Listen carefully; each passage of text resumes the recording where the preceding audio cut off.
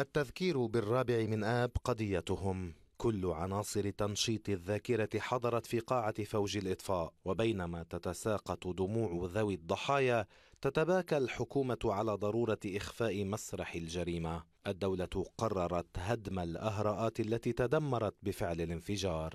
عجتتنا ما بيقدروا يفوتوا على قلب المرفأ ويهدموا الإهراءات لأنه هول الإهراءات هن الذكرى الوحيدة للشعب. هو ومارق يتطلع وشي ينقذه يقول له إنه هون مات فوق ال 215 شهيد. هون فوج الإطفاء خسر خيرة أبطاله. لم تثمر جهود المحقق في الانفجار.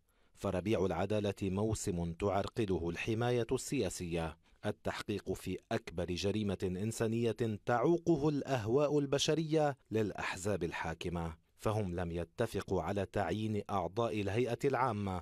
الهيئة التي إذا عينت ستواجه إشارات بطلبات الرد من نواب ووزراء متهمين بالانفجار.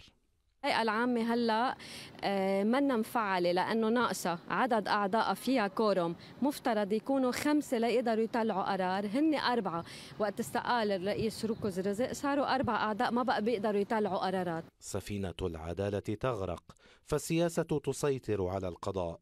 وفي جوارها أهراءات قمح اللبنانيين المدمرة. والطحين في أزمة غلاء متزايد يهدد بالجوع. وكأن المرفأ بات يختصر صورة أزمات البلاد.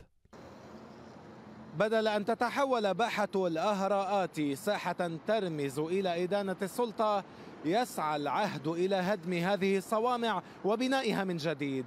أمر اعتبره أهالي الضحايا إخفاء لمعالم الجريمة واستكمالا لتضييع التحقيق. حسن خريس صوت بيروت انترناشونال